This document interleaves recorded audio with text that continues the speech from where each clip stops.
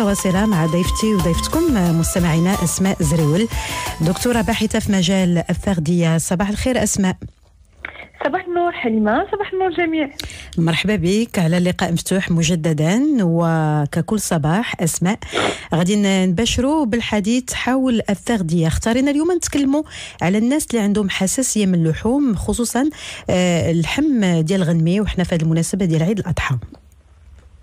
آه نعم أكيد. آه بالنسبة للحساسيه للحوم هنايا آه هذا التهم يعني فيه هذه الكلمة هذه آه علميا.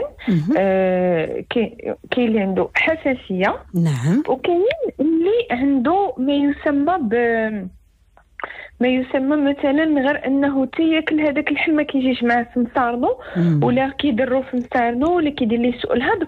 فتيقول ربما عندي حساسية منه. آه نعم. فخصنا نديرو نديرو يعني la différence آه بالنسبة للناس اللي عندهم حساسية ديال اللحم هذه هذه كاينة. يعني في في les allergies كاين الناس اللي عندهم الحساسية من اللحم ديال الغنمي آه واللي كتكون الأعراض ديالها عبارة عن انتفاخ في اليدين كيوقع لهم الحمرار يعني الاعراض ديال الحساسية des taches اعراض الحساسية كاملين. واخا ماشي يعني الحمد لله ماشي منتشرة بزاف وكتبقى exception كتبقى يعني حالات خاصة. ولكن اللي منتشر بزاف هو هذه المسألة الثانية اللي تكلمنا عليها ديال إن الواحد كياكل الغنمي تيقول لك راه ما جاش معايا درني في لساني et tout حنا ملي كنتكلموا أسماء على الحساسية غير فقط باش نوضحوا الفكرة أكثر يعني حساسية جلدية. تنتكلموا على الحساسية الجلدية نعم. ماشي الحساسية على مستوى الجهاز الهضمي.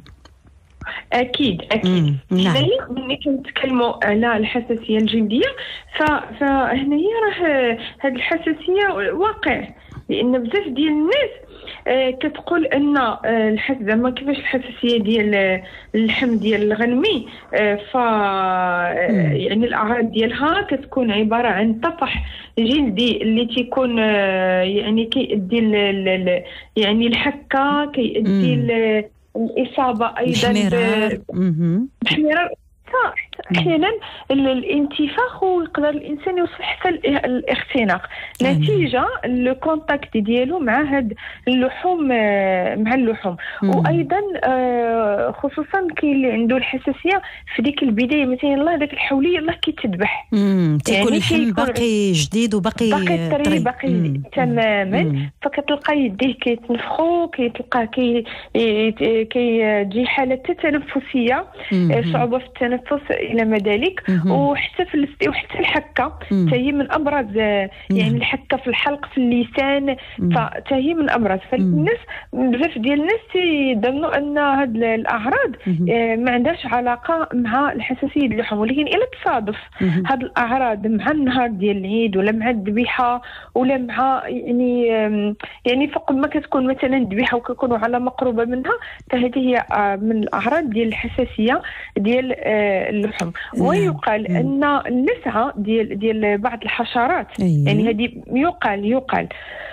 يعني هذه décrit في, la théorie في la littérature تقول لك أن اللسعة ديال بعض الحشرات كتدي من بعد أن الإنسان يولي عنده هذه الحساسية من هذه اللحوم. يعني يقال كدير ديك la réaction immunitaire نعم. فغير واحد المساله أخرى يعني من غير الناس اللي عندهم الحساسية ديال الغنمي هو بشكل عام يعني اللحوم ربما حتى ملي كنتناولوا واحد النوعية جديدة علينا ديال ديال اللحم تقدر تحدث لنا هاد الحساسية. بحال دابا مثلا الناس اللي ما موالفينش اللحم ديال الجمل ملي تيتناولوه ربما تيوقعوا بعض الحساسيات على مستوى الجلد وكذلك حتى على مستوى الجهاز الهضمي من إسهال أو إمساك وغالبا تيكون الإسهال. نعم بالنسبة ملي كناخذوا شي نوع غذائي اللي هو جديد هنايا الحالة عاوتاني تختلف. تختلف تقدر آه. تكون حساسية ياك وكتقدر تكون فقط الجسم كيتعرف على هذاك لاليمون جديد والجهاز الهضمي. لأن الجهاز الهضمي la diarrhée ملي كناكلوا واحد النوع غذائي اللي هو جديد هذيك la diarrhée الإسهال اللي كتحدث راه كتقدر تكون السبب ديالها بكتيري ربما وملي كنحيدوا السبب البكتيري تيقدر يكون السبب ديالها هو فقط يعني لأن أن الجهاز الهضمي يلا كيتعرف على هذاك النوع جديد ديال الغذاء اللي لأن ما مولفش ياخذو يعني une période d'adaptation يلا كيتألف مع هذاك النوع ديال الغذاء. يعني هذا الشيء كله يعني آه إمتى ما وقع لينا ياك؟ وعلى حسب الحدة ديالو لازم زيارة الطبيب والاستشارة مع الطبيب. نعم لأن لأن أحيانا الحساسية كتسبب ما يسمى إذا كان أول مرة آه ما يسمى شوك انافيلاكسيك أو الصدمه اللاوقائية.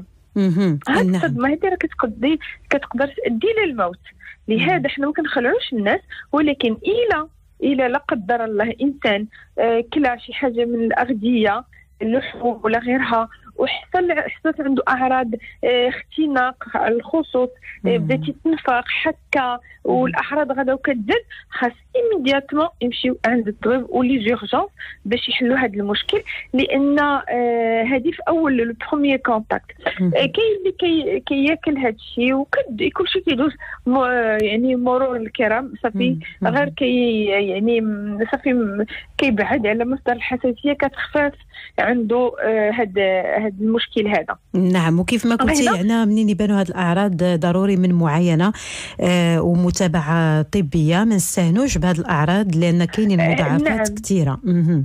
علاش حليمة؟ لأن لأن دابا حنا هذا الشيء اللي تكلمنا عليه راه يقدر يكون عرض ديال الحساسية ويقدر راه كيتشابه مع 70 70 ألف عرض أخر ديال المرض أخرين مع فهمتي؟ يعني حتى واحد ما يدير تشخيص لراسو. آه. لأن التشخيص ديال أي عرض راه ماشي يقول راه هادشي اللي تيوقع. راه شفت في الانترنت اللي عنده عنده راه عنده هادي.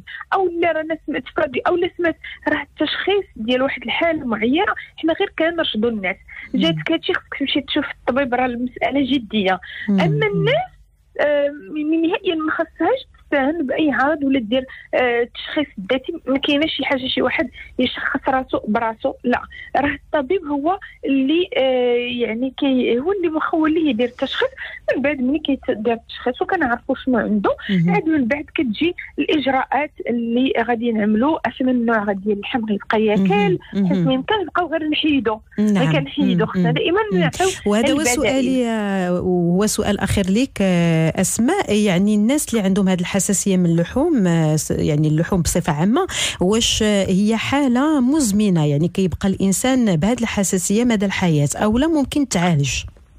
آه، شوفي هو غالبا الناس اللي عندهم الحساسيه بهذا النوع الحساسية يقدروا يكونوا كلاوه في الصغر وهو ما لهم والو واحد الوقت بهذه الحساسية. هنا كنرجع ونقول أن الطبيب المعالج هو الوحيد اللي كيقدر يرد هذاك النوع اللي عمل الحساسيه ديال الأكل أو اللي يحيدو نهائيا بحسب يعني المناعة ديال ديال ردة الفعل ديال المناعة ديال الإنسان وبحسب واش دار ليه شي protocole thérapeutique ولا يعني شي خطة علاجية اللي تقدر تخولي أنه من بعد يبدأ يرجع ياكلوا أو لا لا. إذا دائما هنايا آه، ما نفقدوش الامل يقدر الإنسان من بعد يرجع ياكلوا بدون أي مشكل ويقدر ويقدر لا يعني. ولكن غالبا آه، يعني إلى أنا اللي لاحظت أن حتى من خلال العمل ديالي أن الناس إلا كلاو الغنمي طايب بعيد على آه، بعيدا على على ذاك الأجواء ديال الذبيحة واللحم مازال خضار وني ما كت يعني وكلاوه ما كيسبب لهم نفس الأعراض إلا كان عندهم آه، بحال إلا كان عندهم يعني الاتصال مع مع الحولي مباشرة وغيره. ربما السبب ولا البروتين اللي كي اللي آه، ولا المادة اللي كتسبب الحساسية ما كتبقاش بعد الثياب ولا يعني كل واحد وحالة خاصة. نعم واضح.